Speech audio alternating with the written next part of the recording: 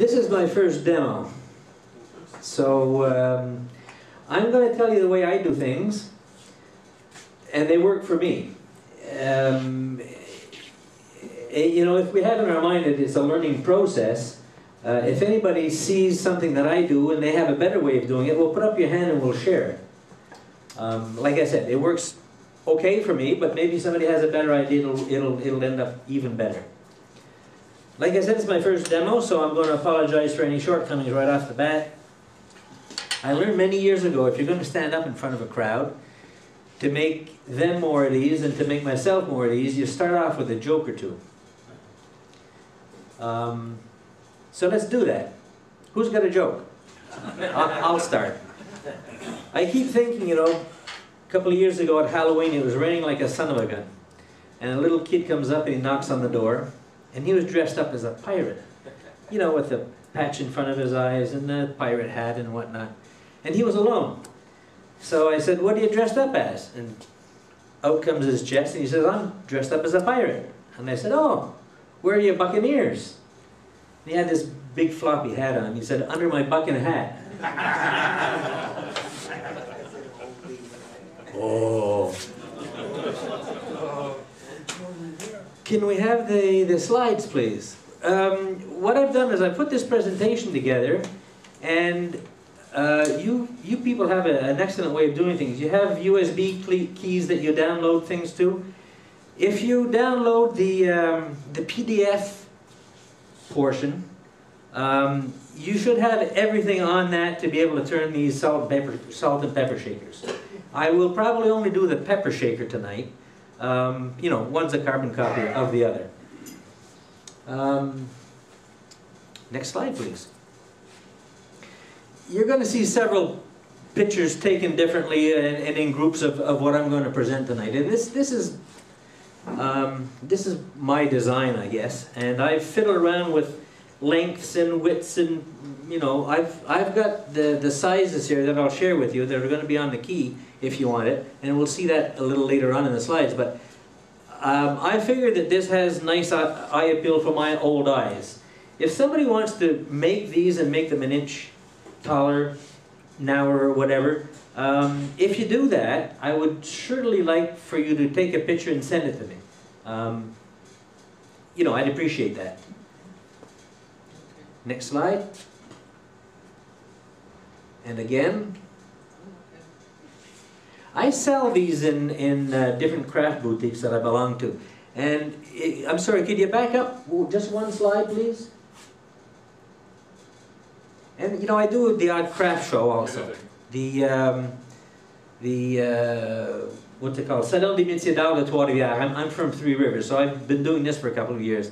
And this is a normal way of having a salt and, and pepper shaker. And some artist came along one time and said, why don't you lay them like this? And I did. And it has better eye appeal, but strange as it may seem, you know, people are funny. They'll come along and they'll pick up that one that's, that's leaning over and they'll stand it up. And you know, this happens not once or twice. It, it'll happen, you know, maybe a dozen times during a, a craft weekend. Funny the way we are. Next slide, please.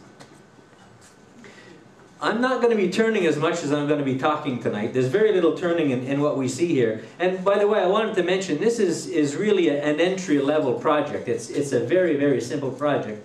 And you're doing laminating and boring as much or more than you are turning. Here's a group. By the way, I usually, uh, I usually make these maybe 10 or a dozen at a time. Um, and we'll touch the, that a little bit later on. As far as the boring of the holes goes, it's a lot easier on a, on a drill press than it is on, on, a, on a lathe. Next slide, please. Yeah, this is the bottom. We talked uh, a little a little earlier about the bungs.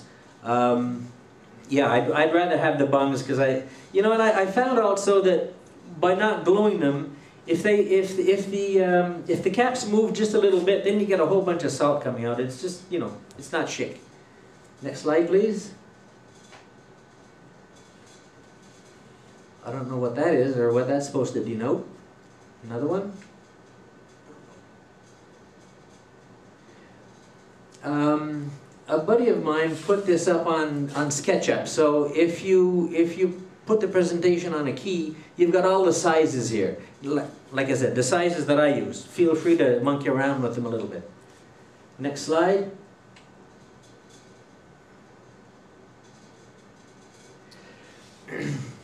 There's no real trick. I, I, I start off with a block of wood that's going to be sanded at 2 by 2 and the, the final size is 4 and 3 quarters but I like to start off with 5 inches long because you have to hold something in the, in the jaws. Um, the pieces of wood, the, you know, each one here is an eighth of an inch.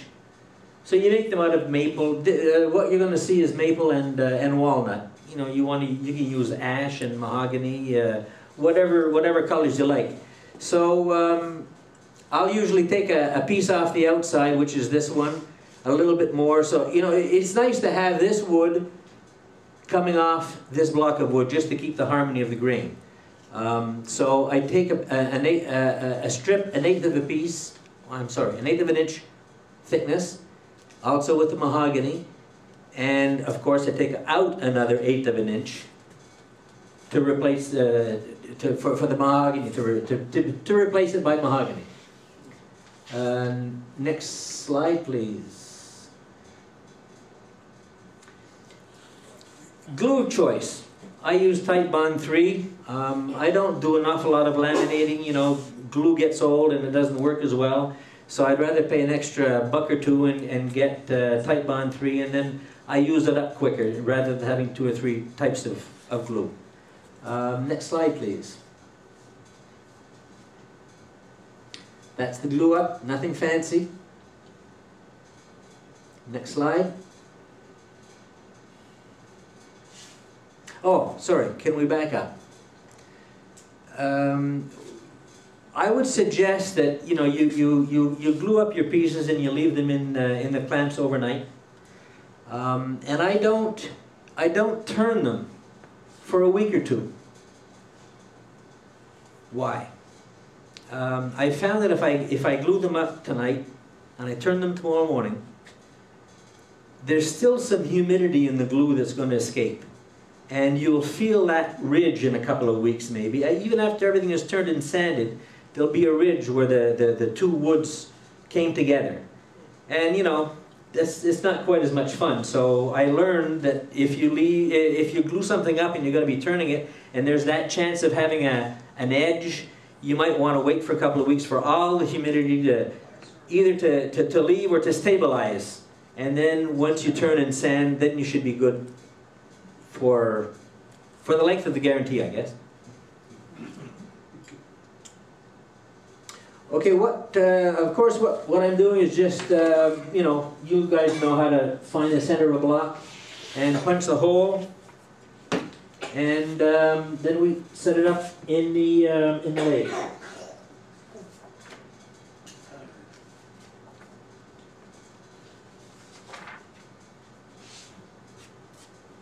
So what I do is I put the um, next slide, please. I think it says that I put the top. I put the bottom in the headstock what I'll usually do is, you know, what's the bottom and what's the top? I'll look at the wood and, and see, you know, what, what would look best up or down.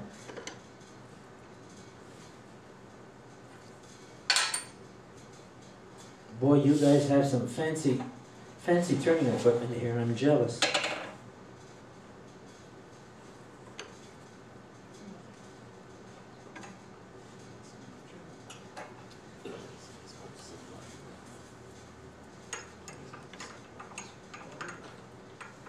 It's the first time that I've turned on a Oneway. So if anything goes wrong, we'll blame it on the Oneway.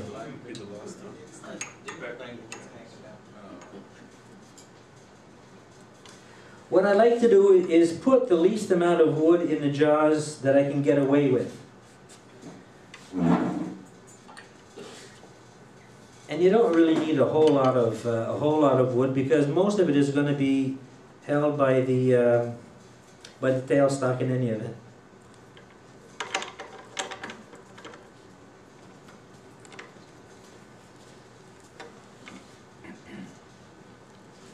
Everything okay, Claude? No. Okay, no. Uh, the first thing that I like to do is um, mark uh, the length that uh, I'm going to turn for the waist. And the waist is the waist. So what I normally do is I'll, I'll make uh, the waist about one and a half inches from the, uh, from the end. We're always measuring from the top, of course. Everybody can see okay? Yep. If there are any questions, please don't be shy. Everybody understood that? Is it, everybody sleeping? Do you always keep your head towards the tailstock? For turning. Why is it still? Um, and the reason is that, you know, I, I want to keep away from the jaws. And the first boring that I'm going to be doing is going to be through the top. So I start off this way just to, just to save time. So that's the waist, and then I measure four and three quarters from the top, and this is this this line is going to be what I'm going to be using, um, not tonight, of course, but the top the top has been sanded.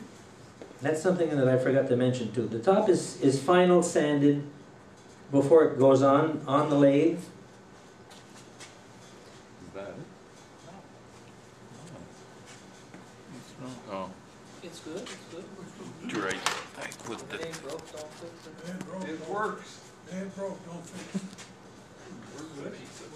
I forgot to mention, um, after glue up, everything is sanded, and I sand, I sand the block to 220, and I sand the top to 220 because we're not going to touch this on the lathe.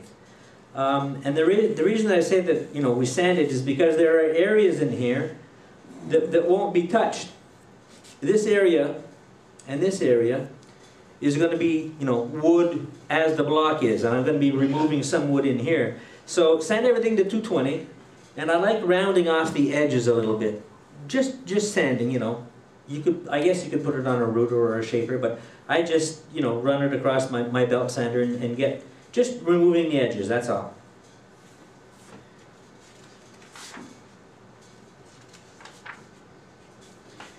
So now we have our marks. I'm re repeating myself, one and a half inch, and that's for the waist, and this is four and three quarters, and that's going to be chopped on the cutoff saw uh, after everything is done.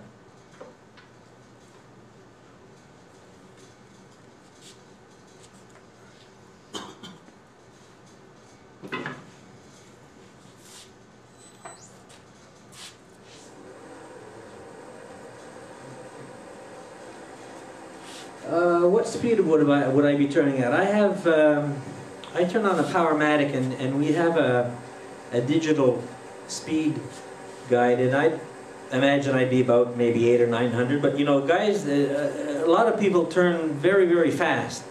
And if you follow the rules, you'd probably be turning this maybe at 2,500, 3,000 if you follow the, the guidelines and, you know, feet per minute or whatever. I guess I don't turn all that fast. I'm a bowl turner, so I don't, uh, I guess I don't turn all that fast. And what I'm doing now is I'm just using a small, um, a small um, parting tool. I'm losing my English, I'm sorry. Uh, and, and what I'm doing is I'm just, you know, running a, a line in here. I don't want to go, I'm running the line just so that I just see the, um, the walnut. And this is just a guide for me to bring my, you know, my cutting into.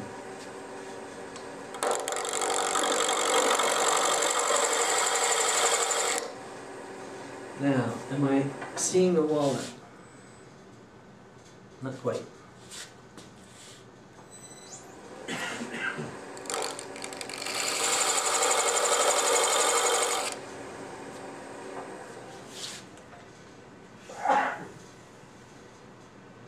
You don't want to go too far. Um, now, using a tool of choice, um, what I'm going to do is I'm going to, you know, slowly turn into this, into, into the line. I like to, if it's at all possible, not, not to get too far up in the corners. If you can leave maybe a quarter of an inch or so, I think it just looks a little bit better to have that, that square corner. And uh, same, same on the bottom. You might even want to go up a little bit more, maybe a quarter, maybe three eighths from the bottom. Um, I, uh, I'll use a skew. Skews work an awful lot better. There's a lot less sanding to do. Although I'm not a tremendous turner of skews. We'll see how this works.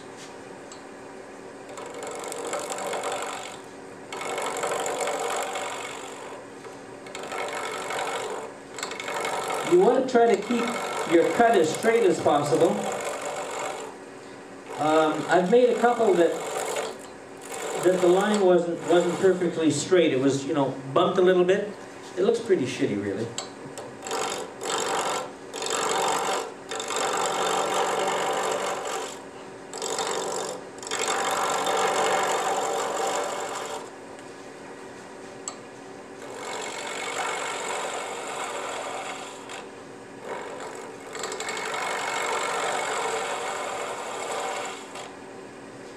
Like I like I said, this is really a, a big uh, an entry level project. If you um, if you have anybody that's that just starting, it's it's a nice little it's a nice piece for somebody starting off. Uh, I wouldn't suggest people start off with a with a skew, but you know you can use spindle gouge, detail gouge, a bowl gouge, uh, you know almost a roughing gouge.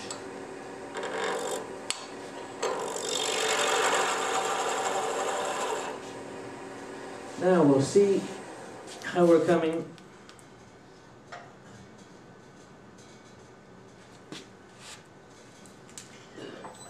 Ultimately, I like to have about a quarter of an inch of, of walnut showing. I think that's the nicest, you know, the nicest eye appeal. For my eyes, again.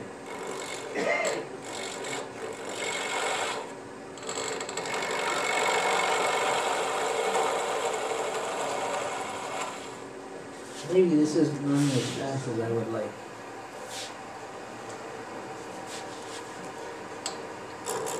I guess I'm spoiled with the um, the speed indicator. I I have a hard time working without it.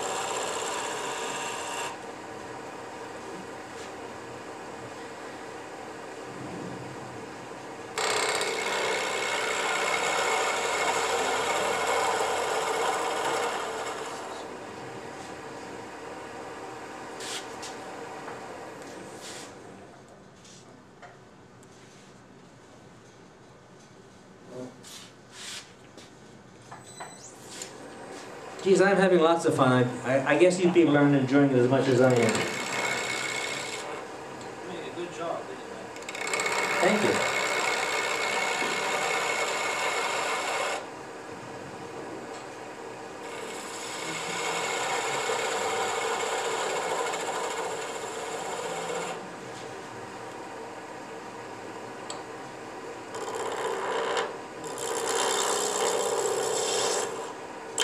Whoops.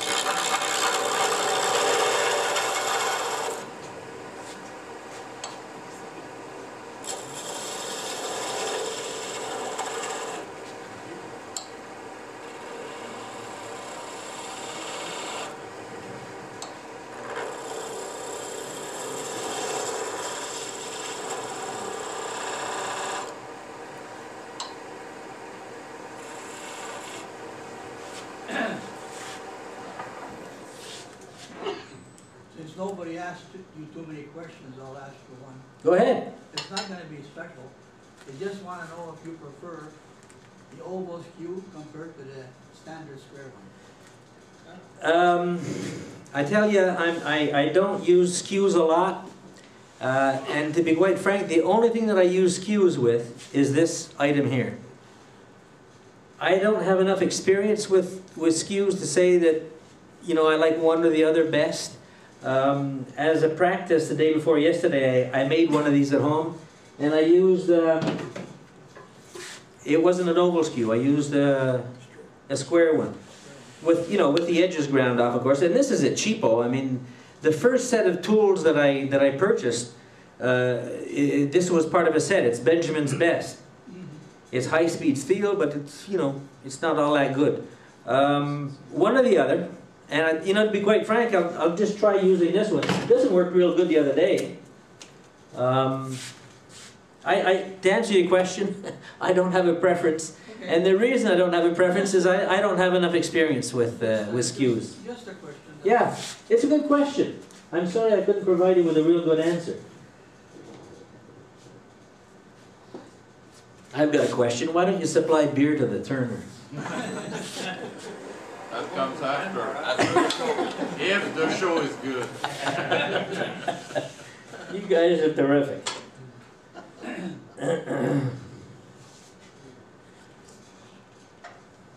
Are you driving home tonight, or are you staying? I'm driving home because I haven't had a better offer. uh, And there, and there are no ladies in the room, so I probably won't have a better offer. Well, there is a lady in the, Is she here? yeah. Where is she? Ah, there you are. What do they call that? Showing up um, a- a- appropriately late? Fashionably. Fashionably late, thank you. I'm losing my English.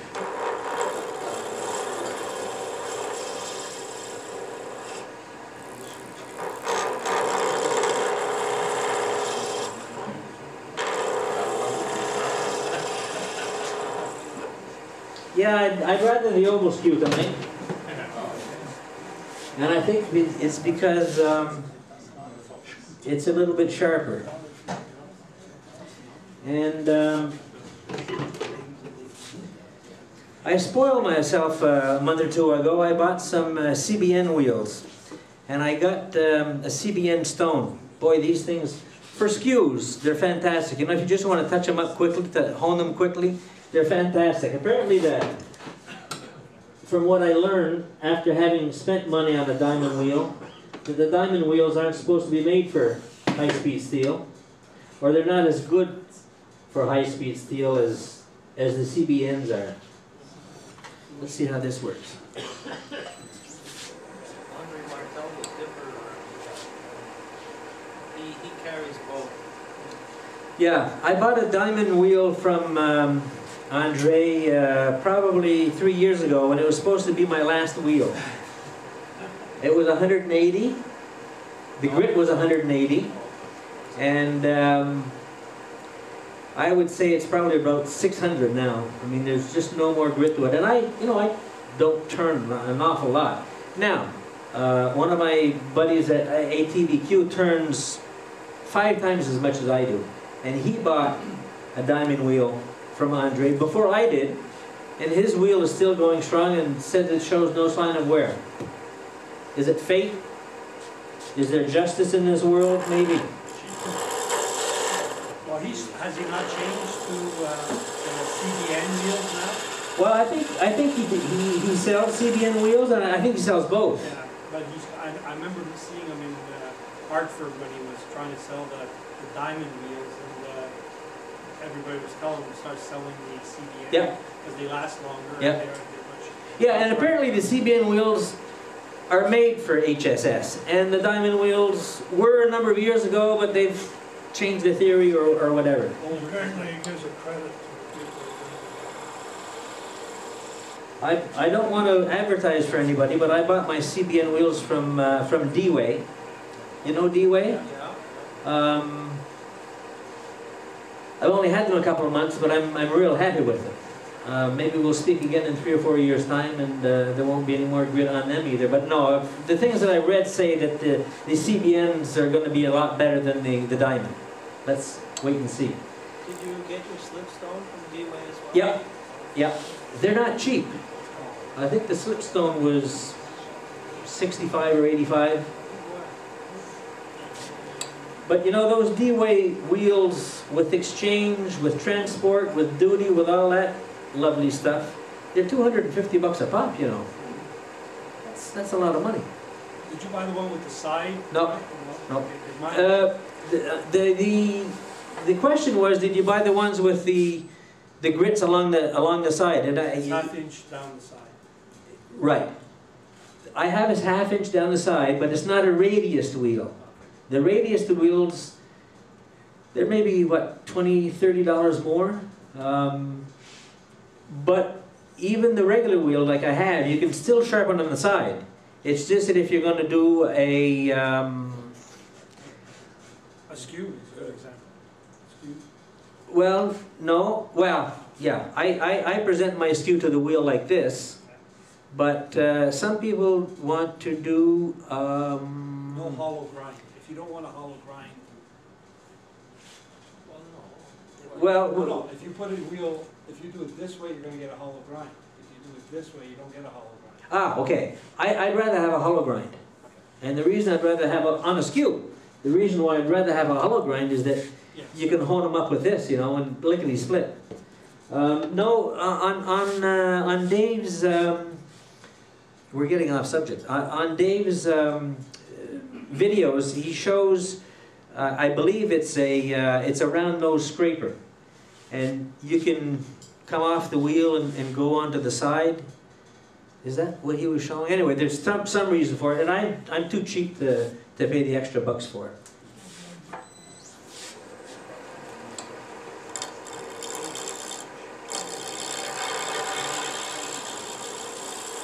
Now, I am almost at the, the, the, the no turning point as far as the, um, as the walnut goes, so I don't wanna get any, any, I don't wanna lose any more walnut at the point, and I'm not doing a very good job, but I usually touch this up with sanding. Um. I can, I can go a little bit deeper, but not much. And what I like to do, if you can see this, is I like to put a straight edge on here, just to make sure that, that we don't have either a bump or a hollow. Now, I don't know if you can, yeah, you can probably see that, okay? That's, uh, there's a little bit of a bump here. I might want to back up here a little bit more.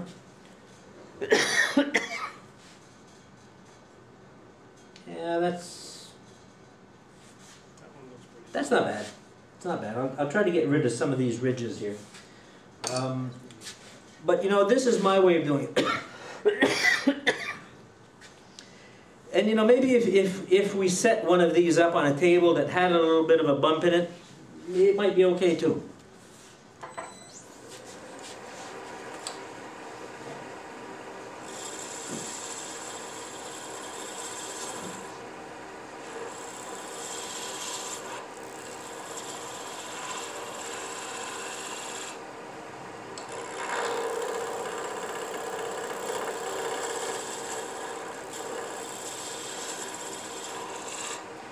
I guess the answer to the gentleman's question previously do you rather a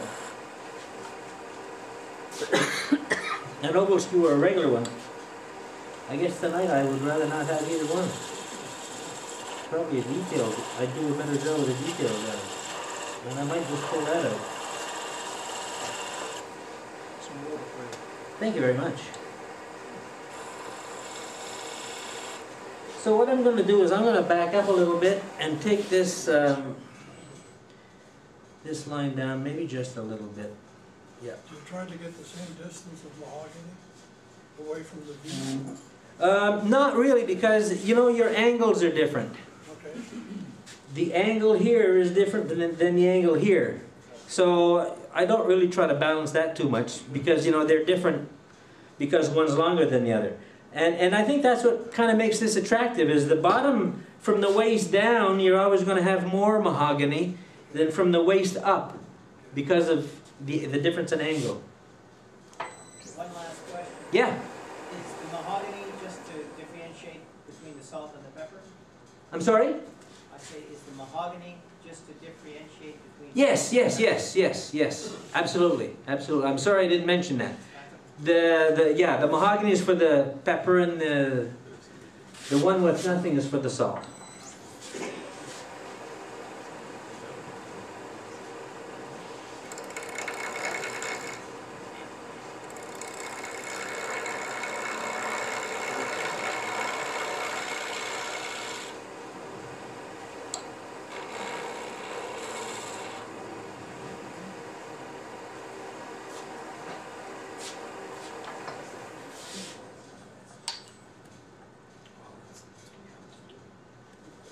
Just a little bit more. If we're looking for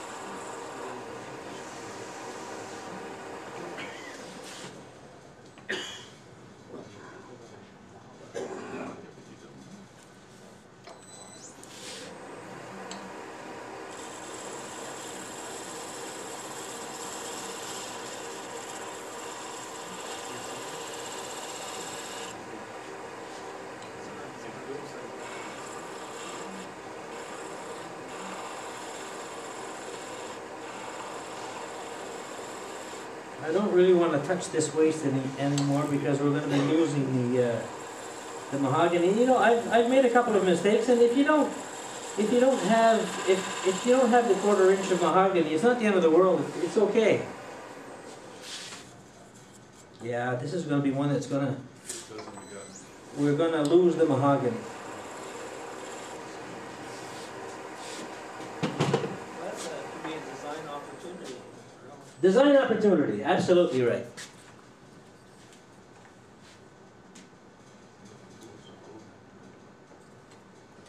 I don't know if you can see, there's a, a, a just a, a touch of, Well, that looks good. of maple showing. It's okay. Yeah, looks good.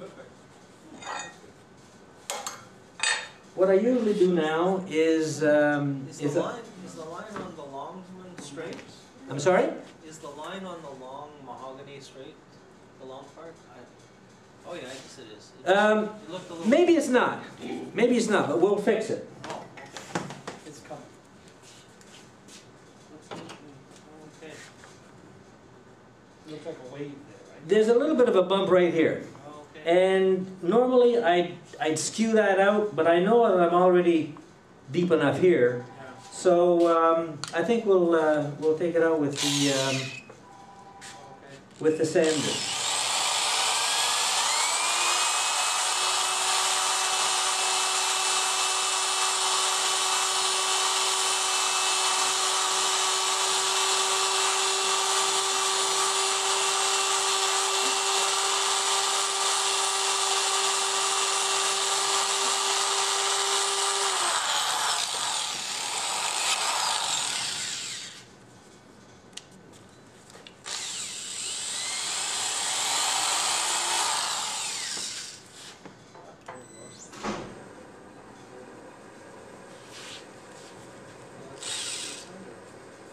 Where'd you get the sander?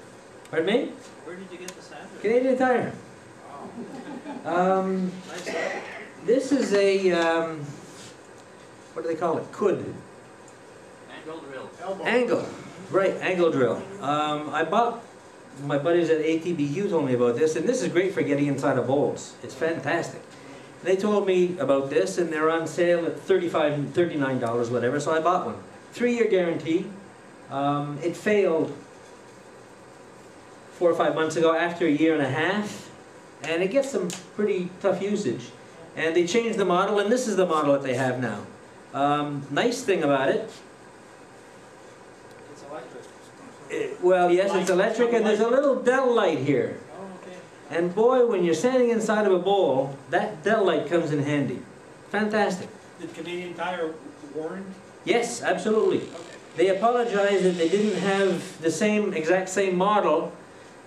I liked the other one, maybe it was a bit smaller for my small hands, but uh, this is fantastic. Nothing wrong with this.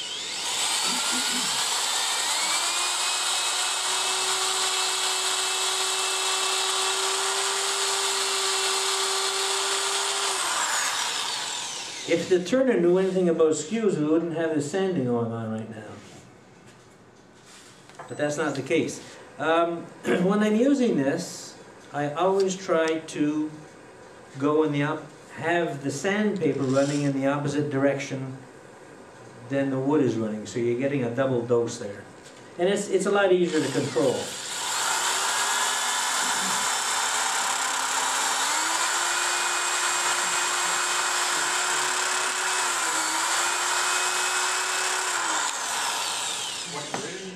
Start with 80, and I go to 220.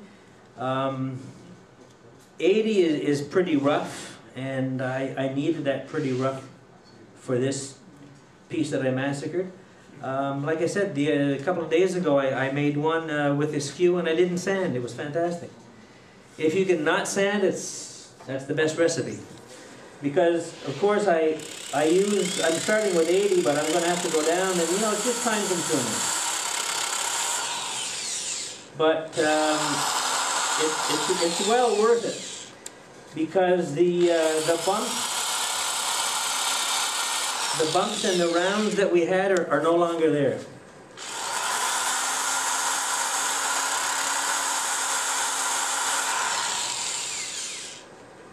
Now, what I think I'll do is because I don't need as much, uh, thank you for the water, by the way.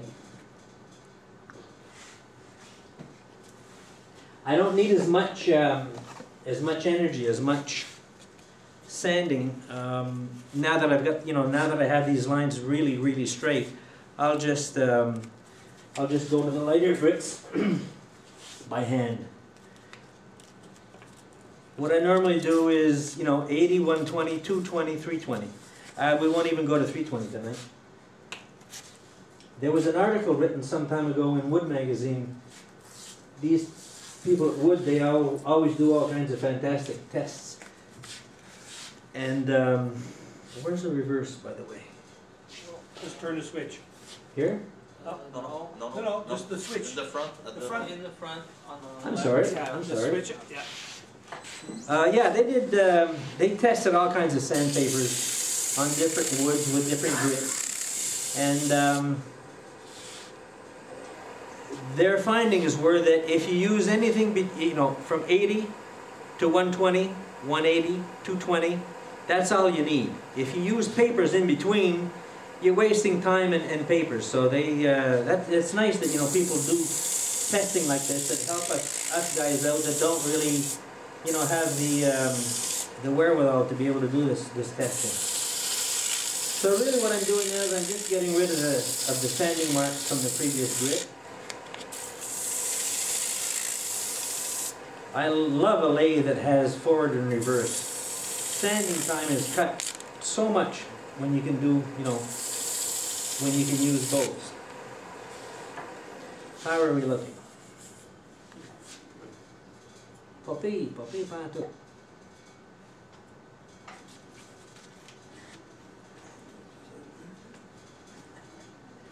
Uh, another thing that I find is if I have a new piece of paper, they get pretty, uh, they're pretty, um, how can I say, they're pretty uh, stiff. And I just like to, you know, run them over uh, an edge both ways, um, and it, it just makes them a little bit more soft.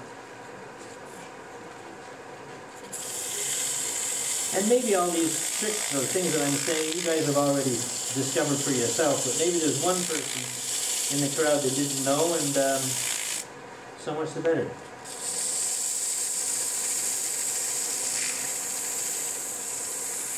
You want to keep the sandpaper moving when you're doing spindle work, because you'll get your, um, you'll get, uh, you'll get sanding lines. Um, if you want to be real particular, that's 220. That's about as far as we're going to go. What's nice to do is to just run the sandpaper quickly in the um, in the grain direction. And if you had any sanding marks, they probably will disappear with this. How are we doing for time? Lots. Lots of time? Yep, we're okay. I'm gonna have to start singing to fill in the time, guys. We do that at the bar, really. You're not gonna wanna hear that. Um, just because, just because, just because we wanna be particular, we'll go to three twenty. I, um, in making my bowls, I used to sand to six hundred until, um, somebody made me realize that if you go to six hundred here and you fit, and I, I use Livos, like some of you fellows do, you're not getting, you're, you're so you're, you're too, you're sanded a little bit too much and you're glossing up your wood and you're not getting as, as much penetration as, um, as much finish penetration into the wood as if you stopped at, you know, a little, a little lower. Although between coats, I, I, I use the six hundred. So I stop at three twenty on my bowls and, uh, sand between coats with six hundred. And Livos is a fantastic product. Glad it came along. You sand between coats of Livos with what? Six hundred, Six hundred, eh? Okay. dry. Some people I know sand wet, but no, I just, I just do it dry, by hand, of course. Very I- light. Yeah, oh yeah, and you know, it's just a very quick rub like this, you know, just to remove any, any dust particles, any, you know, places where the wood is swelled a little bit, it's, it's just, it's not even a scuffing up, it's just a very polite, And then you, you, you finish off with the Livos, how, after how many coats before you buff? Okay, I, normally I don't buff. I did buff the once a few years ago. Yeah, I use three coats of Livos and that's it. Uh, if I'm, if I'm gonna present something at a show somewhere, the last coat of Livos, I'll, I'll sand with four knot, um, steel wool. Um, and that really, I mean, that just removes any, anything. I was in, um, uh, Lange Bay in Forêt, hmm and they had a piece that they had finished with Livos, and uh, they did um, the first two coats. Uh, you know, you put it on um very thinly, and then you wait 10 minutes, and then you wipe it all off, uh, almost like buffing. And then the third coat, they put it on with 2,000 grit sandpaper. They applied it with two thousand grit They sandpaper? applied it with 2,000 grit sandpaper, yes, while they were putting it on, and then they wiped everything off. And then they wiped it off, okay. yeah. That's something I might try, you know, because anybody that's worked with at uh, even a little bit, I'd like to know how much of the third coat stays on Okay. or comes off. Yeah, yeah. What percentage? And it's gotta be very, very, what stays on the wood has to be very, very minimal. I, I'd guess at five percent. But that's, that's something I'm gonna try. Um, working it in with two thousand grit and then wiping it off. They were saying, uh, I, I was looking uh, at their website, and they start off with uh, one tablespoon per square meter for the first coat or second coat, and then the second or third coat, it's one teaspoon per square meter. Of course, it depends on the wood, it depends Yeah. on how much sanding you've done, it depends on a lot of things. That was the suggestion Yeah. by Livos.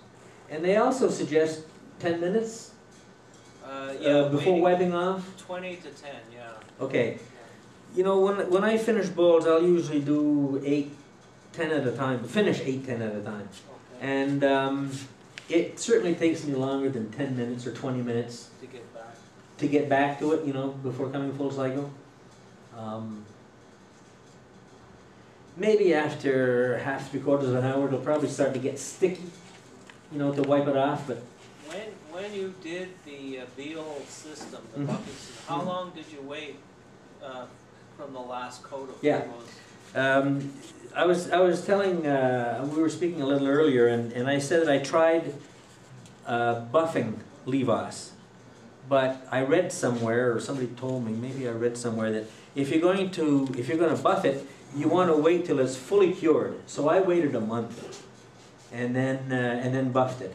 And it came up like a piece of glass, it really did. I was, you know, it was a junk piece of oil, and uh, I was surprised um, at, you know, the luster.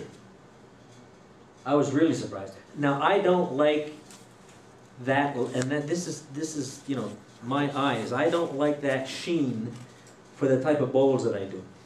Um, so I don't use it. I've got the system, and maybe I should do one on, on occasion, you know, just to see what it looks like. And, you know, the people that I sell to make, get a kick out of, you know, make, might like it more luster. The thing is, I guess the thing that worries me is that that luster probably, that, that sheen probably won't last years. And, you know, I'd, I'd hate for somebody to come back to me saying, you know, this was like a piece of glass when I bought it a year ago, and look at it now, it's, you know, it's, it's back to a satin type sheen. Some people put uh, epoxy on their bowls, um, and you know, that's, that's fine. Uh, a lot of, uh, a lot of this uh, segmented work, they use, um, they use epoxy, and that just comes up fantastic, it's real beautiful. Yeah, it's like, uh, what is it, Jacques, uh, what's his name that that came here? Uh, Yeah. Jacques, uh, he's from the ATVQ also. Mm-hmm. Brother? Brother? No. Brother- Couture. Jacques Couture, yeah. Couture. Jacques Couture. Yeah. Poor Jacques is, is not feeling well these days, No? unfortunately. But uh, the, uh, the thinness of the Livos finish still held up to the buffing, eh? Um, yeah, Because there's not a lot of, uh, and you know, I did it as an experiment. yeah. Uh, I did half the bowl because the other half had cracked. okay. Um, and I, I, I didn't, you know, I didn't really lean into it. No, Um, I was kind of polite with it. okay. Um, and yes, that would worry me we're not putting an awful, you know, there's not a lot of thickness there. I mean, there's some that has seeped into the wood, of course, but you don't wanna go with the, um, with the, the, the, the- the first operation. The triple E. With, yeah, with the grit. You know, I'd be, go very, very lightly with it, especially if you had, you know, sanded six hundred and you finished it off and it's, you know, it's nice and, nice and, and, and- and smooth. You don't wanna, you know, I think you'll go through it fairly quickly. So you have to be gentle. Very, very gentle, very, very gentle. I'm saying polite, that's, that's the French word. You want to be very gentle with it, yep, yep. So, we're turned, we're sanded. Um, you see a very, maybe a thirty second, uh, of the maple showing through. I don't usually like that. Um, that's the way it is. It looks good. It's okay, it's okay. Uh, now we're going to, um, just for you to see, I'm happy with that. Happy with that. Um, we're gonna start, uh, boring holes. And I'm, I'm boring the holes here because the presentation was to do on a lathe. Um, And when we're done the presentation, I'll speak to you about boring the holes uh, on a, on a drill press.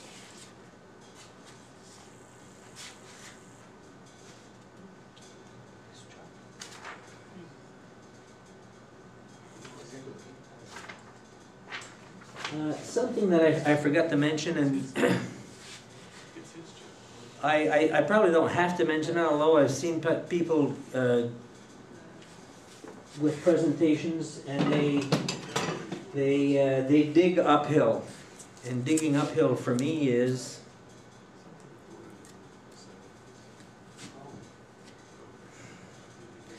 going down this way and then let's go up this way.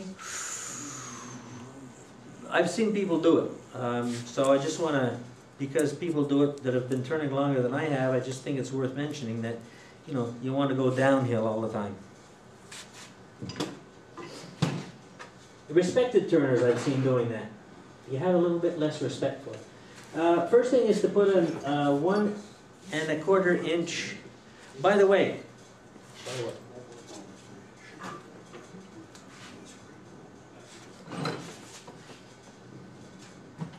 Lock the door, somebody stole my caps.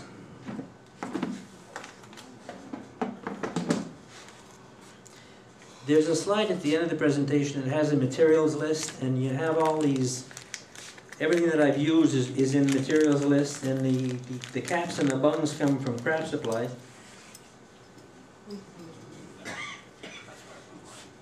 Right. Uh, I've looked around and I, I haven't seen them no other, any, anywhere else. They're, they're good quality, they're stainless steel, they come, Packard Wood has Packard has them, same price? no. More? They come, um, you know, they're, they're, they're machine punched, so they come with a protective coating. They're stainless steel, fantastic. Uh, forget what the price is, you'll see it in the last slide. Uh, they take an inch and a quarter hole, so we wanna poke an inch and a quarter hole in here.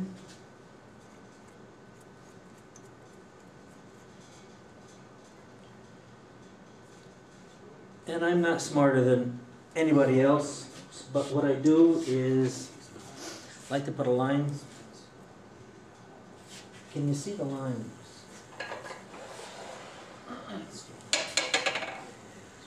If you can't, there's, there's a line with a felt pen right along here that tells me it's a quarter inch, so, you know, I go, I drill in up to the line and, uh, that's it, that's reverse, that's forward, that's start, we'll back up the speed a little bit.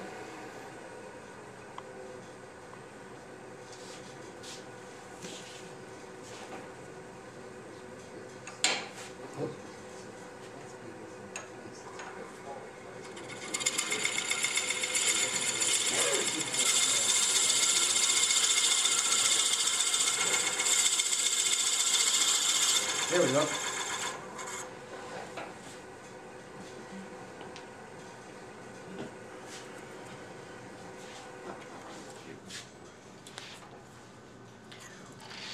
Another little trick that I, you know, these are, these are are inexpensive. I think they're a set from Canadian Tire. They're inexpensive Forstner bits. And what I do every time every time I use one,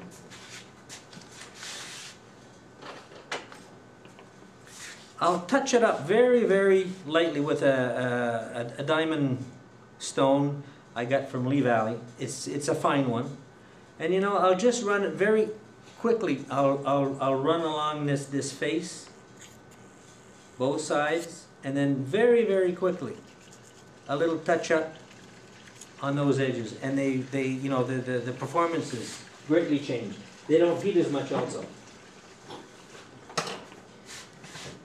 So now we are to the point and you know, all these are on slides, so I'm going to be asking you to click click through these maybe a little bit later. Um, an inch and a quarter, one inch deep in the top. So now we're going to put a 5 eighths in, and this is going to, um, we're going to go as far as we possibly can.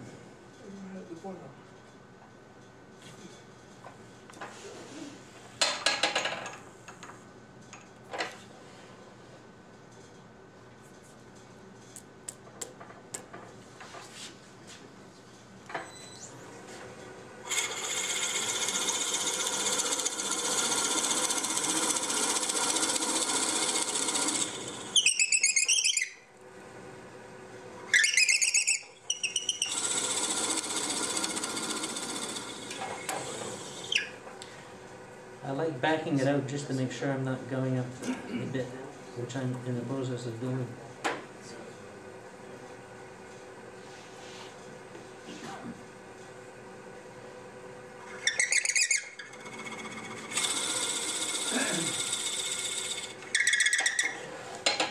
And that's as far as I can go. Maybe I want to go a little bit further.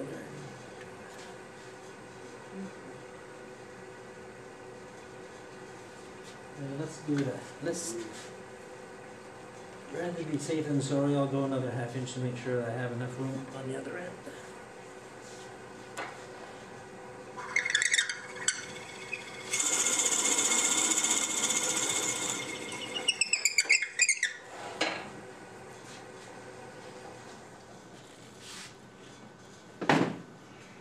I keep looking for my key to operate this.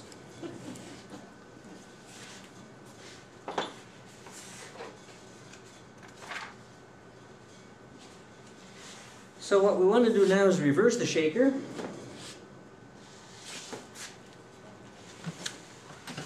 Now I'm looking for my key. Now, I'm going to reverse it. This is sanded, this is finished, ready to go. So I don't want to put that in there and tighten it up and, you know, we're going to we're going to see jaw marks. So what I've done is, is I've made little, um, little, little protectors, I guess you might want to call them. I'm putting a bumper in here because even though I have these little pieces of wood that are going to protect, they don't, the jaws don't hold as tight. So as soon as I, I start running the, um, the Forstner bits through, they're just going to push the shaker to the bottom. So I, I put the, the spacer there for that reason.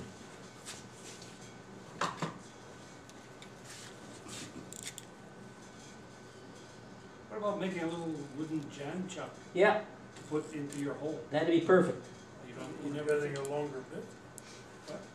I have uh, those uh, flat jaws. No, no, it's already done. From this end. Dave, I have those flat jaws that you attach wood to. Oh, yeah, that'd be good too. Uh, yes, all these ideas are well and good. This is this for me is a temporary situation.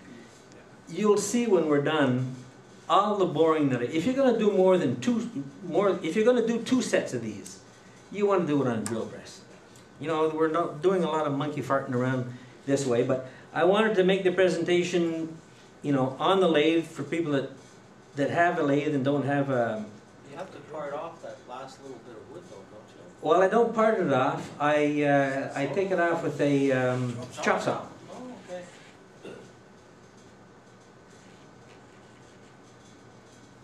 that's a good idea.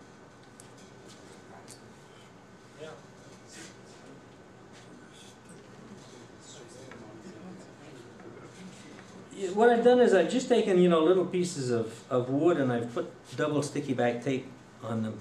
And the reason that I've got the sticky tape is just for them to hold on the jaws for a few seconds until I can get the, the, the shaker in there. You wanna try putting small pieces, four small pieces of wood on four jaw uh, noses at the same time, without any booze.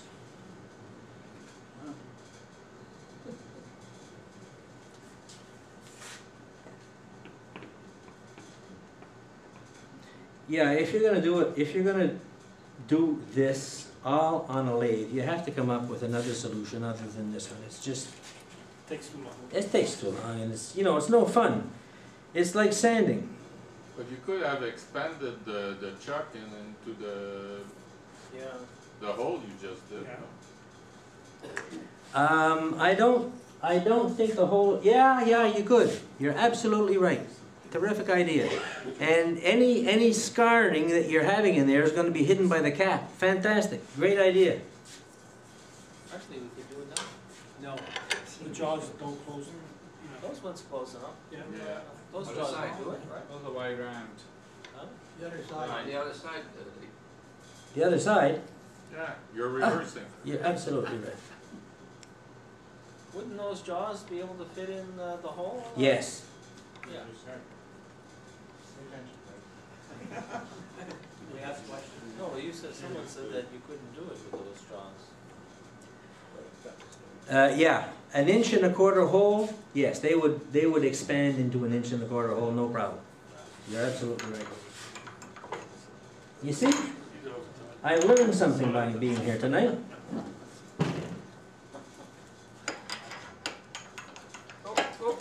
What I'm doing now is I'm, I'm putting the, um, the point back in here just to be able to get it centered before I tighten things up in the jaw.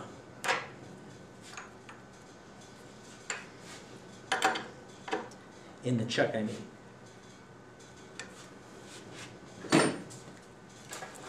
You see what I mean by monkeying around? I mean, this is just wasted, wasted time and energy in my books, if you can do it on a drill press.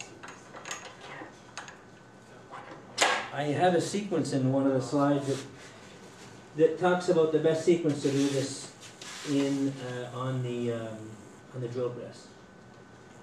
So, an inch and a half hole in the bottom, This is for the bung hole, right? Yep. Now, I think I made a mistake. I think the hole in the top, I think I made it an inch and a half, which is gonna be way too big for the, for the, uh, for the caps, because this is an inch and a half and it's warm.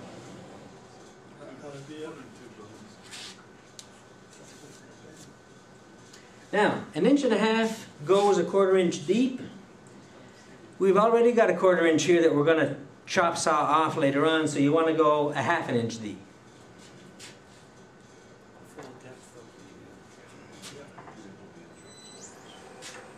And again, I've got lines on here.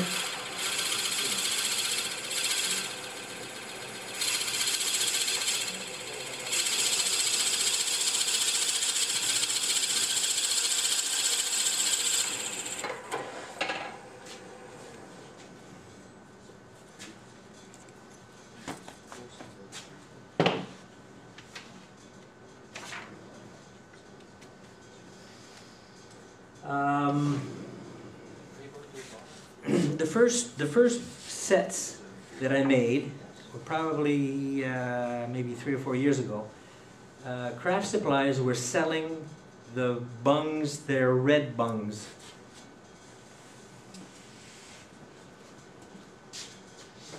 Yeah, like this. And I bought a bunch.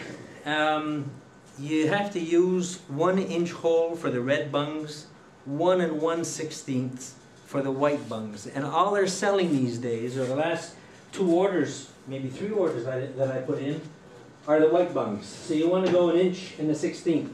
And it's a bugger because an inch and one sixteenth you don't get in in um, in sets. you know, you have to buy the one and one sixteenths specially. Um, now I've got a problem. This is a Morse two taper. This is a Morse three taper. We have a sleeve. Oh, uh, you can, uh, take those apart, can't you, and just fit it right into that? If I can take it apart, anybody have a wrench? Fred, don't we have a sleeve for number two to go into number three? Uh, I think we probably do, yeah. I don't want to put this. Do I? Hmm. Let me see. Um, what, I- what I'd like is, is, is two wrenches so I can just Yeah, yeah, yeah. undo them. Okay, we got two wrenches somewhere.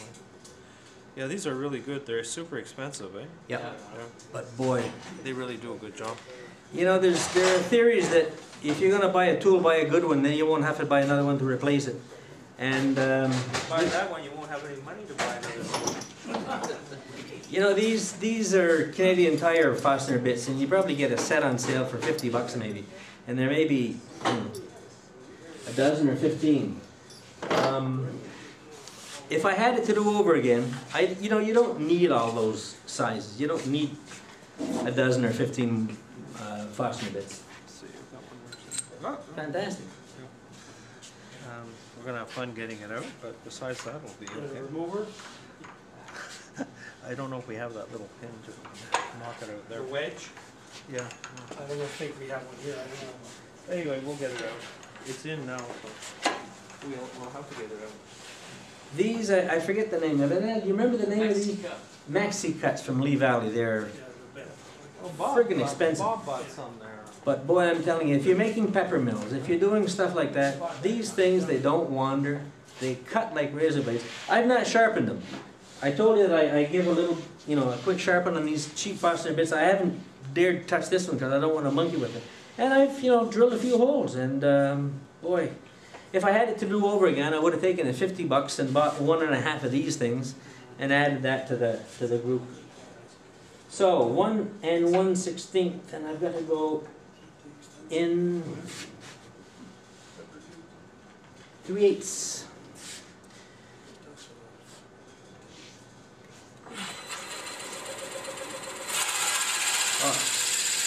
Very good, good. I'd rather go a little too deep than not deep, deep enough, and this is just to, to be able to set the bung. Uh, yeah, now we have to get this out. And put the Jacob's cut chuck back in and, I ran off. You know, a little earlier, I made a joke, I said, this is a fantastic, this is a real nice piece of equipment. And I said, if you can't find it tomorrow morning, it'll probably be in my plastic box, so he, he took me seriously. Which maybe you should. Is that yours or the club's? Huh? The club's, well, it's mine now. Where's it hid? It's mine now. No, no, it's mine. It belongs to you personally at home? Personally, yes, yes. I bought it from Rohit, actually. Oh, Okay. Oh, you're paying too much for it. Got ripped out. So now we're back to the cheapo Forstner bits.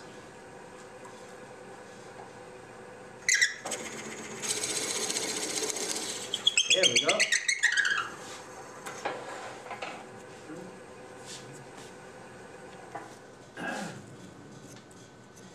So really, that's it. Um, What, what size hole are you drilling, uh, for the salt? Uh, the inside Yeah. is five eighths. Five eighths? Now, I picked that. Um, You could make them larger. you can make them larger. Uh, keep in mind that your waist Oh, is is going to is going to be there, um, and that's probably about an inch and a half, uh, I would think. So you have a five five eighth. There's plenty of room to go a little bit more. You could go an inch and a half or an inch and a quarter. Oh, not that well. Each and a quarter. You see, the waist the waist is um, an inch and three eighths. So you can go an inch easy. yeah. Keep in mind, you know, the cheaper bits they wander a bit. But yeah, you could go a lot bigger than five eighths, but uh, that's what I choose to go to be on the safe side. It's And he doesn't use that much pepper, so that's, uh, Uh, could we get back to the slides, please, and see where we are? See what I've missed. Do you finish with a particular finish? Livos. Oh, Livos, okay, very good. The first ones I did, I, I, I didn't know of Livos at the time, and I was using um, uh, Mike Mahoney's walnut oil, Okay. uh, which is you know non-permanent, of course, um, and I was using um, a polyurethane finish um, off off the lathe, you know, brushed on. Do you, Um, do you put the Livos on, uh, on the lathe? No, right? no, no, I don't do. Um, and you know, I haven't got a real good reason to justify why I don't. But the only thing that I will finish on on a lathe is um, uh, wine bottle stoppers, because they're there. I put the one coat on, and and that's it. The Livos, um, I suppose, because it has to be done in two stages. You know, you can only, you can't finish 100% of the bowl with you know on a lathe. You've always got the damn foot. Yeah, Um, so I just might as well do it all. I, I, I just do it off the lathe, and, and like I say, I save up seven, eight, nine, ten, eleven, twelve bowls, and I finish them all in, in one crack. How many bowls do you do a year? Ooh, That's a good question. that's a good question. Uh, Uh, Probably, I don't know, more than fifty. Do you sell that many too? Um, I have a lot of, uh, I have a lot that I give away. Yeah, I wish I did sell fifty. I wish I did sell fifty. And I, you know, the reason that I don't sell fifty is because I'm too lazy to go out and peddle them. Um, I, I don't get a real kick out of going around all these shows and carting my stuff around and, you know, setting up, selling during the daytime, taking everything down at night, setting up the next morning. You know, maybe if I was younger, Marketing is a terrible. it's a bitch. Marketing, yeah, you're right. I I take my hat off to any marketing people. And I, the, the, where, where I sell most of my stuff are in craft stores, and they're groups that have gotten together, and, and we don't pay any salaries, but each person has to, has to be, uh, at the store a day a month, which is okay. Yeah, that's good. You get a good percentage back. Um, but, um, you know, even now as time goes on, I'm, I'm, I'm shying away from that. I've, I've left one of these places and I'm, I still only have one left, but I've got my bowls in a few museums and, you know, they take more money, but you don't, you know, all you do is, is deliver them and wait for the check to come in. Wow. That's really good. Yeah, where are we on the slides, my friends?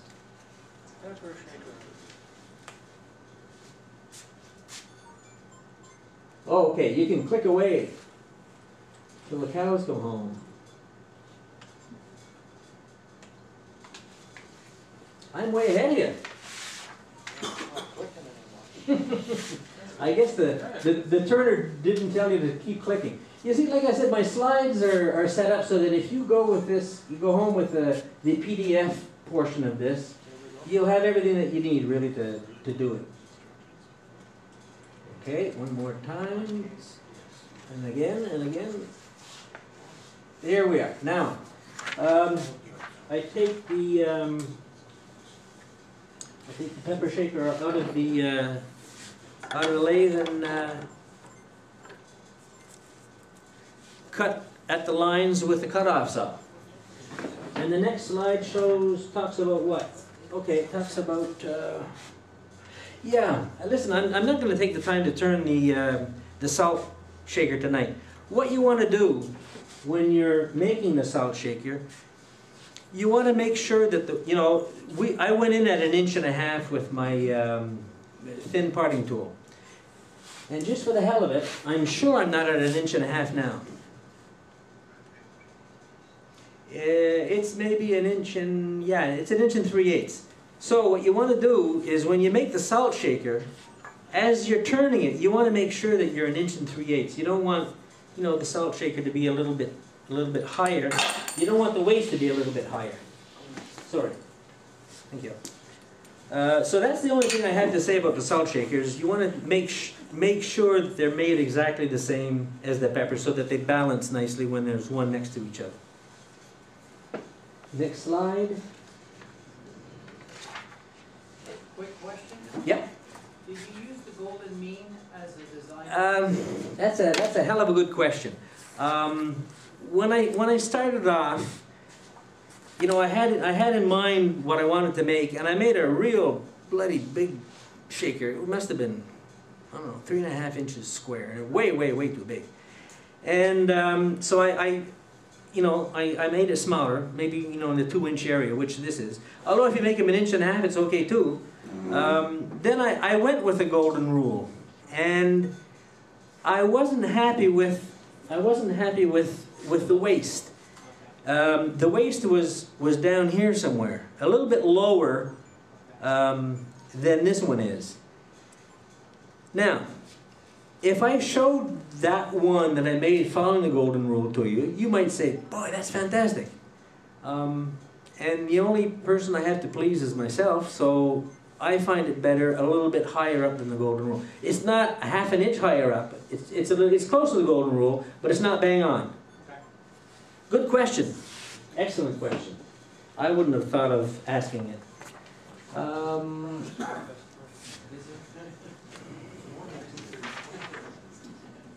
yeah, this slide says you want, you want to make sure that you, you size them both the same. The next slide, we're talking about the, um, the cap that I glue in, and you know, I made this hole too big, so we're gonna lose the cap. So this is gonna be fancy firewood. Put an insert, and then you'll have a round ring around the cap. Would you like to do that? The suggestion was put in an insert. Yep, you can do that. And you know, I, I might do that. Walnut and. But you need two. You have to, you would have to screw up on the other one. Well, I don't think you see, you're not gonna see the insert. Eee. I don't know if we can see this.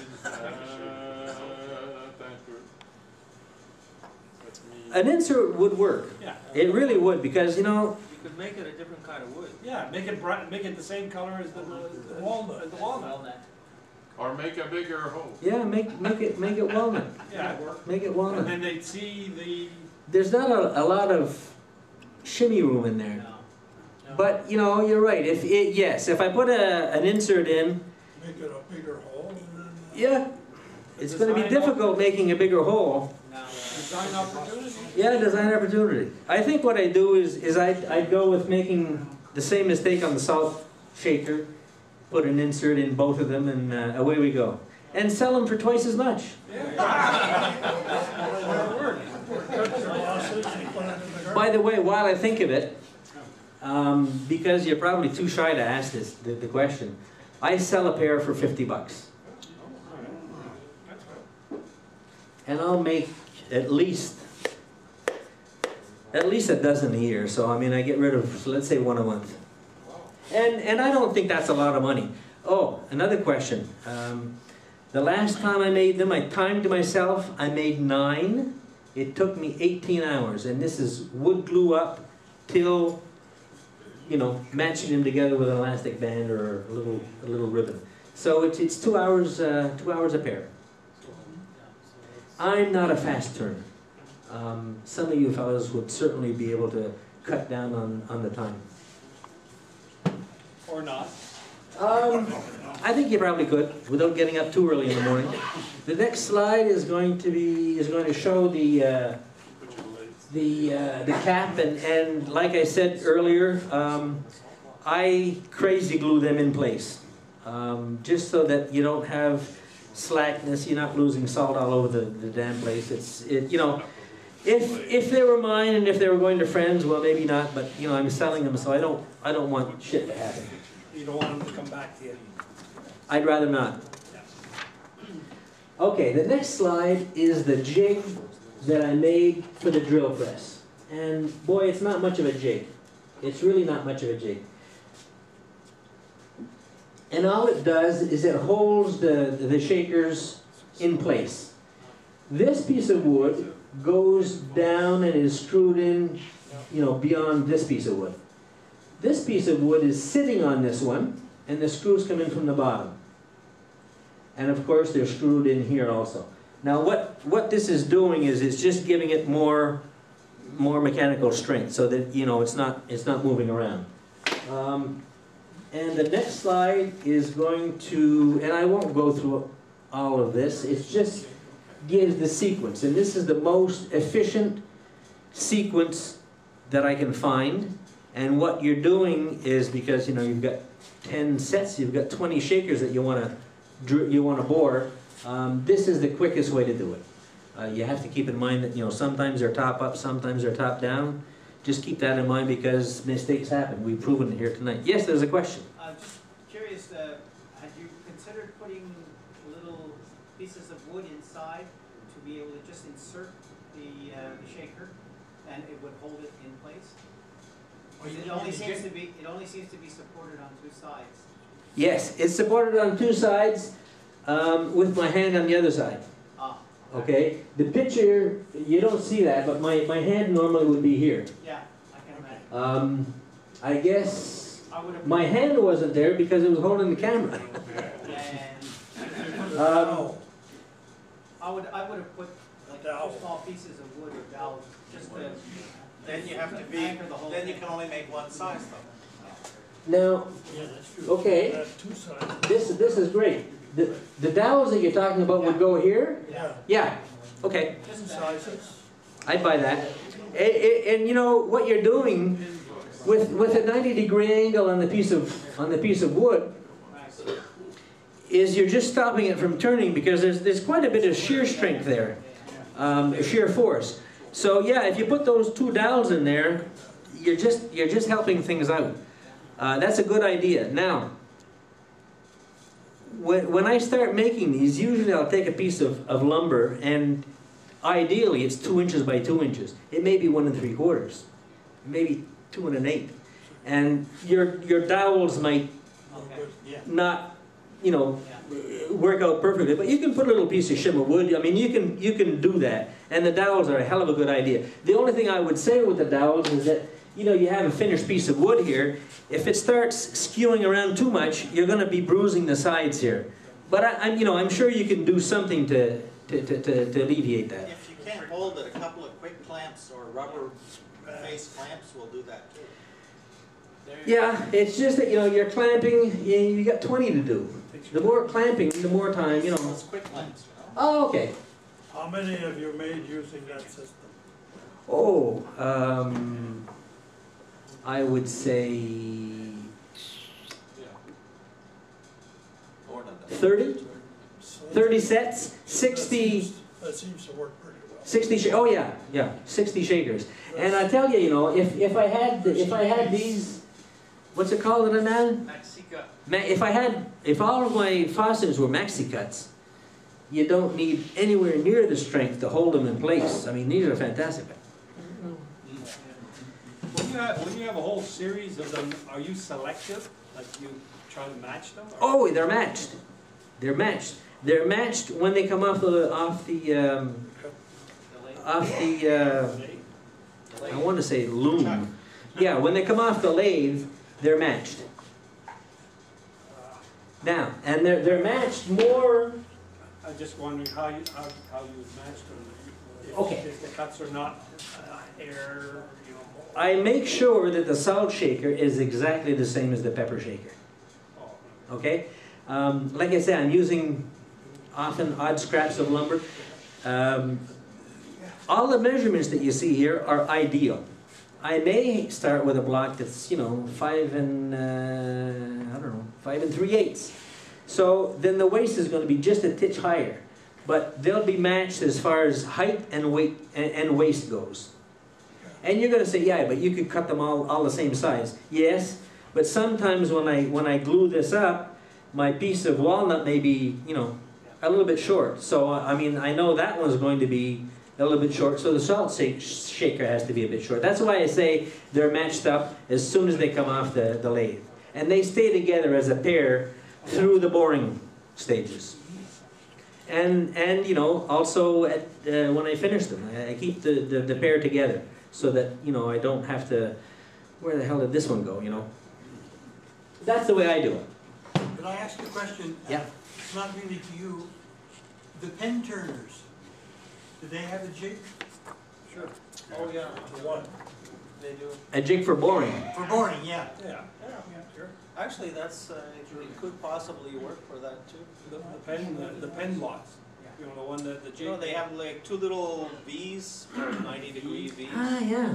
and uh, they go out and They in. come out- That, that would mark. I think. Yeah, I was just gonna say, would that work? Because you're, you know, you're boring holes in a, Uh, yeah. in a finished product and, you know, shit, you don't wanna go sanding afterwards. I mean, you can, but Yeah. if you've made a dozen sets, you've got twenty-four that you gotta sand a little bit. And there's always that last little bit that's a bitch to get off, and then you say, ah, sh- the hell, you know, off to the next one. And then once it's finished, I should have spent another eighteen seconds and sanded that, you know. Well, uh, using that drill press makes it a less boring job. Yeah, yeah. You know, Oh, come on, He didn't, under- he didn't get that joke. Did you hear that joke of his? no, Tell him again, Fred. He says Using the drill press it will be less boring. Less boring, man. Boring, makes it less boy, boring. I, I hope I haven't been as boring as your jokes. Okay. The next, the next slide is, is just a sequence for boring on the, on the uh, drill press. Okay, now we're back, we're off to the materials list. This is the materials list. Uh, we're talking about Titebond glue, I'm talking about getting it from Lee Valley. The salt shaker caps, one and three stainless, I've got the, the item number in there, and the rubber bungs, um, and they're from um, Craft Supplies, woodturnerscatalog.com. Uh, I've got the prices there. Uh, that's two seventy and two ten. You're talking five dollars worth of um, of hardware per per pair, Plus the Livos. plus the Livos. And we know that isn't cheap. And you know, You only use a teaspoon. how come I use uh, four or five cans a year? Uh, you know, I think the cans are what the big the 750 milliliters are about sixty dollars, right? Plus tax. And you know, I told the fellow that I buy this from in in in, in Valley, I went to him and I said, you know, this is way too expensive, way way too expensive. But if you doubled your price, I'd still buy it. Don't tell them. Really? That was a mistake to tell him. Maybe, but I, I think so highly of this Levi. I mean, it's a dream come true to, to, to bowl for a, a permanent finish on a bowl. Edible.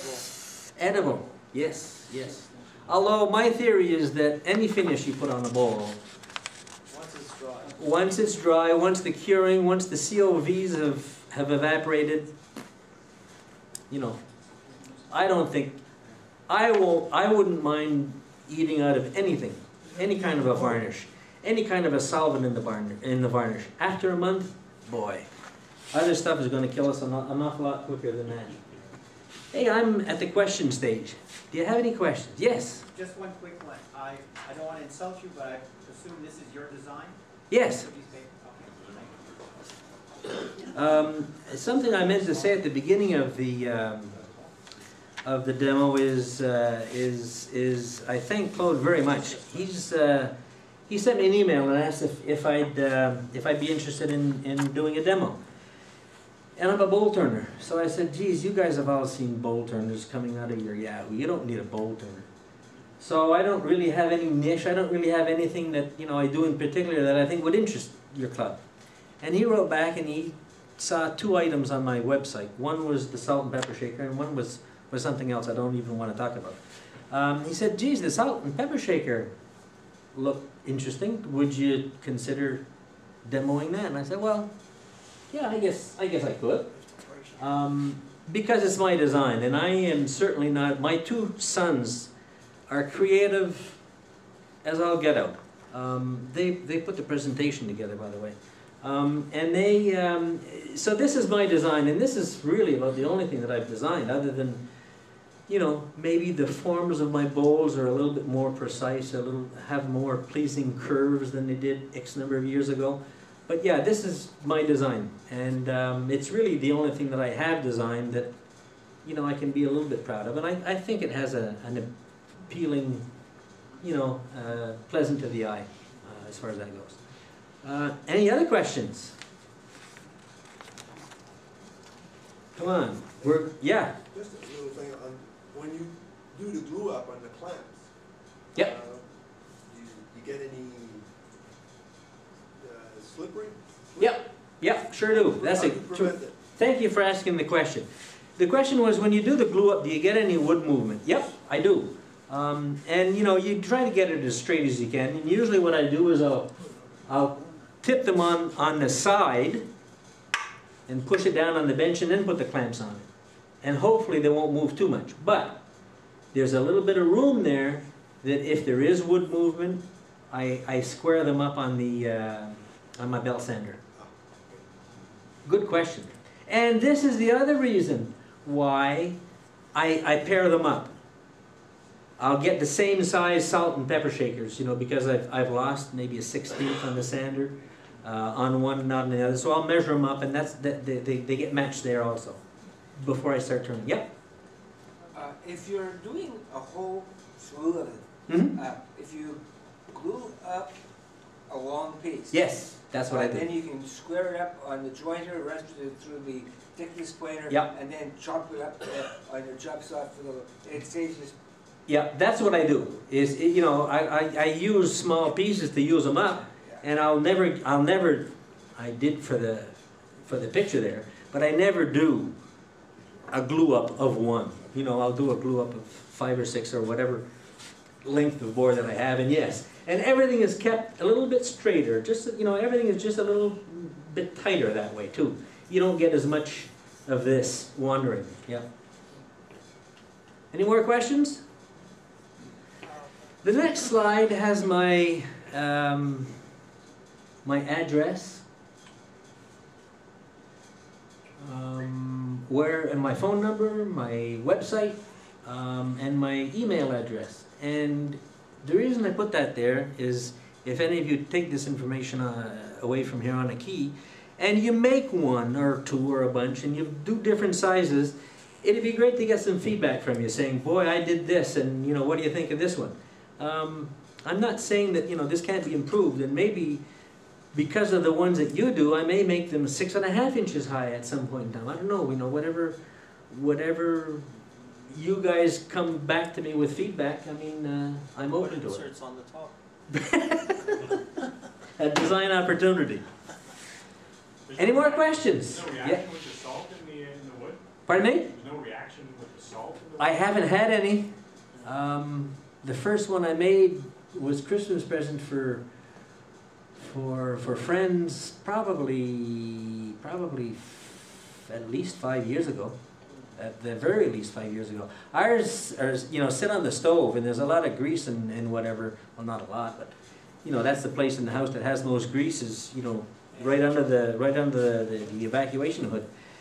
Um, but of course, they, they, they're a poly finish that they put on back then. And I haven't, I haven't had any complaints with the, with the Livos, and I don't think I will for that. Any other questions? Well, now's the time for my closing joke. Oh. No, Fred said it. That was a joke? Your standards, your standards are pretty low, guys. You know, You you always laugh at the president's joke. We're forced to, to laugh at the president's joke. He's the president. Yeah. If, if I offend anybody with this joke, I'm gonna apologize ahead of time. And I'm saying this mainly because there's a lady with us, and it's not really a, a joke for, for ladies. Maybe it is, depending on the lady, I have guess. an announcement. I spent a quarter of a century with seventeen-year-olds. I know stuff you don't know. You're absolutely right. I have three children, so I spent three years with seventeen-year-olds, and that's it. Um, a few years ago, back in the days of the miniskirts, there was um the gods were up in the heavens, and they were, you know, looking down upon earth, and they were saying, you know, what they saw of good of what was happening on on earth, and what and the bad things that were happening on earth. And one of the gods, his name was Thor, and that's the Greek god for thunder. He was somebody has heard this joke. So he's sitting up in the heavens with his with his buddy, uh, with his other um, other friends, and he, he looked down on earth. He said, "Geez, look at those girls in the miniskirts." And you know, he just couldn't get over the, the, the, sight of them. So he said, "You know what I'm going to do? I'm going to take a, a human form, a human male form, a young guy, and I'm going to go down to earth, and I'm going to see." you know, what these girls know, what they can do, uh, just, you know, treat myself. So he takes the form of a very handsome young fellow in his 20s, and he goes down to earth and he, you know, took the mannerisms and everything of a, of a young fella, and he went to a bar because that's where things seem to happen. So he wasn't in this bar very long when uh, a gal came up to him and they started talking and whatnot. And um, they ended up at her place. And uh, of course, one thing led to another, and they made love that night. Not once, not twice, maybe a dozen times. So he wakes up in the morning, and the girl's not, not in bed with him anymore. So he, you know, starts wondering and thinking, geez, you know, maybe I took advantage of this poor girl, and maybe I should, you know, tell her where I'm from and whatnot. Not to, not to lead her on. So um, he gets up and he starts scurrying around the apartment, and he sees her in the bathtub, uh, sorry, in the bathroom, sitting on the toilet. And you know, the door was cracked open. So he opens the door and he said, I'm going to come, you know, right out and say it. So he said, I'm Thor. And she said, You're Thor? I'm so Thor I can hardly piss.